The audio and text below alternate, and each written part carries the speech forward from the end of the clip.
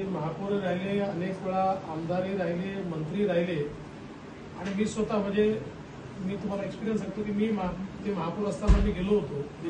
मी एक दिवस दिवसभर त्यांच्यासोबत इंदोरमध्ये फिरलो. जेवढे लोक भेटले त्या प्रत्येकाला ते नावाने ओळखतो.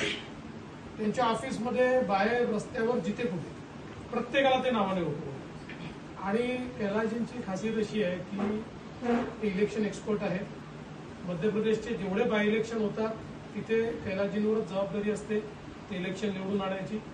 सगळ्यात महत्वाचं बंगालमध्ये जे परिवर्तन आपण सगळ्यांनी बघितलं ते कैलासजींनी तिथे जवळजवळ वर्ष दोन वर्ष बसून राहिले बंगालमध्ये.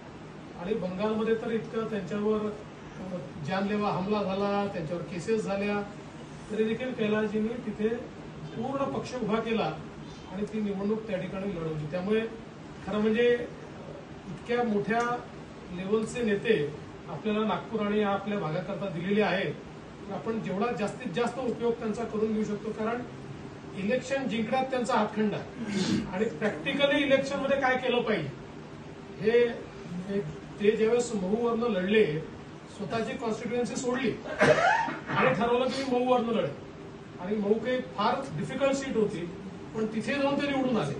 त्याच्यामुळे मला असं वाटतं की इतके सिनियर नेते आपल्याला या ठिकाणी मिळालेले आहेत तर आपण त्यांचा जेवढा जास्तीत जास्त उपयोग करून घेता येईल तो करून घेतला पाहिजे